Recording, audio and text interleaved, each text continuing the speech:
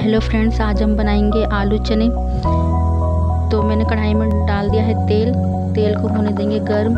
तेल हमारा गर्म हो गया है तो मैंने लिए हैं कुछ खड़े मसाले। दो तेज पत्ता, एक दालचीनी का टुकड़ा, तीन चार लौंग, दो तीन छोटी इलायची, एक बड़ी इलायची, एक चम्मच जीरा। तो जीरा हमारा चटक गया। मैं, हमने डाले हैं दो बड़ी प्याज ग्रेट करी हुई।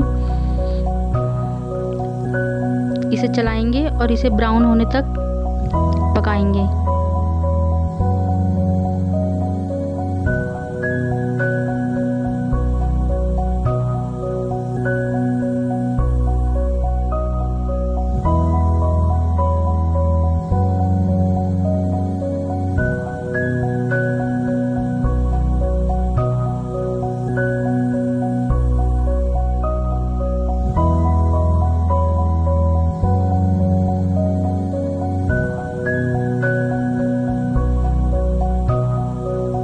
प्याज हमारी हो गई है ब्राउन। अब हम इसमें डालेंगे लहसुन अदरक का पेस्ट।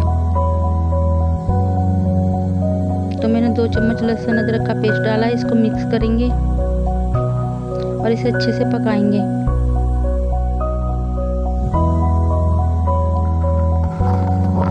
अब हम इसमें डालेंगे दो टमाटर बारीक पिसे हुए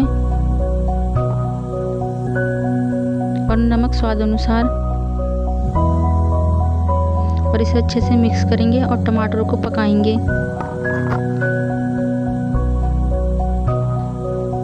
तो हमारे टमाटर पक चुके हैं।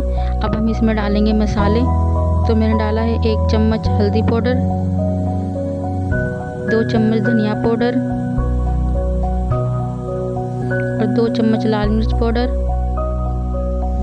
और एक चम्मच जीरा पाउडर। इसे अच्छे से मिक्स करेंगे।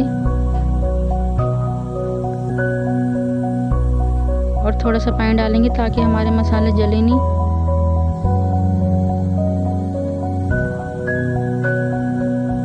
और डाल देंगे दो हरी मिर्च।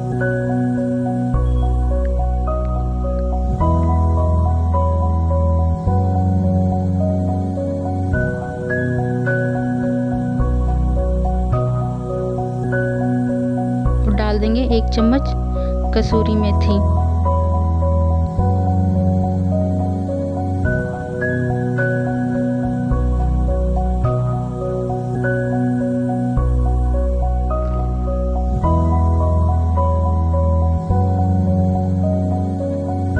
और डालेंगे इसमें एक चम्मच छोले मसाला।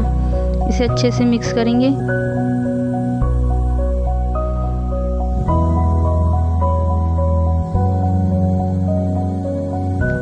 थोड़ा सा पानी डालेंगे ताकि हमारे मसाले जले नहीं।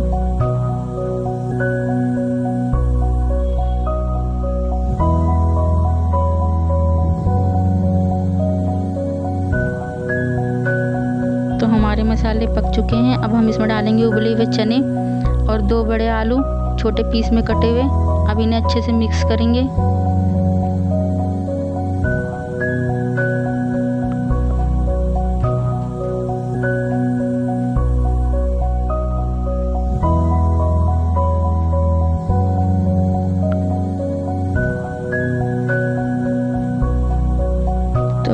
इसमें हम पानी मैंने यहाँ पे डेढ़ गिलास पानी लिया है।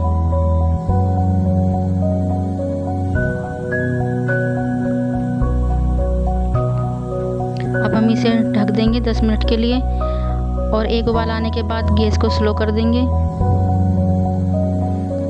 तो यहाँ पे 10 मिनट हो गए, अब हम अपने आलू चेक करेंगे।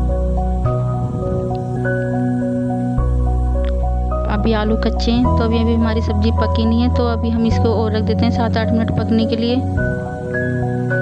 तो सात आठ मिनट हो चुके हैं, अब हम अपने आलू चेक करेंगे।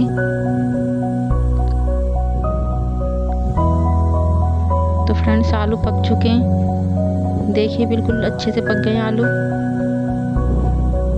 अब हमारी सब्ज़ी बन चुकी है।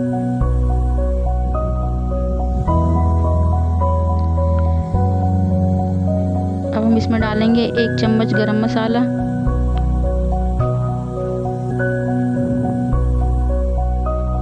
और बारीक कटा हुआ धनिया।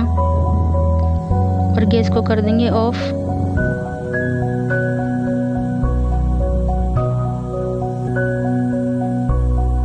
और इसे करेंगे सर्व। तो फ्रेंड्स, एक बार ज़रूर बनाएँ चने आलू। खाने में बहुत ही टेस्टी लगते हैं। अगर मेरी वीडियो आपको थोड़ी बहुत भी पसंद आती है तो प्लीज़ सब्सक्राइब शेयर लाइक ज़रूर करें।